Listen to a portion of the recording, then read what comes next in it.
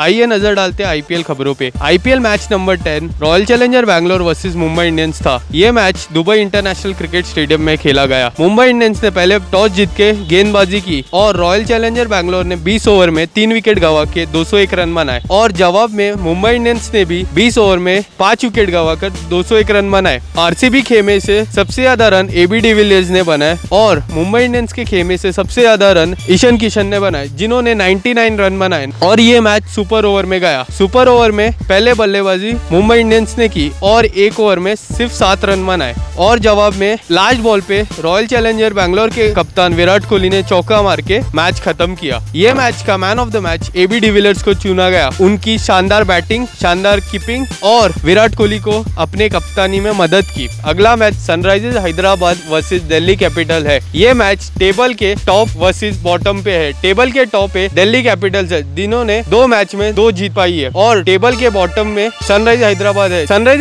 हैदराबाद के खेमे में सबसे ज़्यादा नज़र उनके कप्तान डेविड वार्नर पे रहेगी और उनके सबसे एक्सपीरियंस बॉलर भुवनेश्वर कुमार और राशिद खान पे रहेगी। दिल्ली कैपिटल्स के खेमे से सबसे ज़्यादा नज़र शिखर धवन पे रहेगी, मार्कस टोनिस पे रहेगी और south African pace bowler Kagiso Rabada पे रहेगी। माना जा रहा है सनराइज हैदराबाद के खेमे से यह मैच केन विलियमसन और सिद्धार्थ कौल खेलेंगे। दिल्ली कैपिटल्स के खेमे से यह मैच में वापसी कर सकते इंडिया के पेस बॉलर ईशांत शर्मा और इंडिया के off spinner Ravichandra Ashwin. IPL खबरों में आप हमारे साथ बने रहिए। मैं विशाल मुकेश अम्बानी यश डेडा न्यूज़ से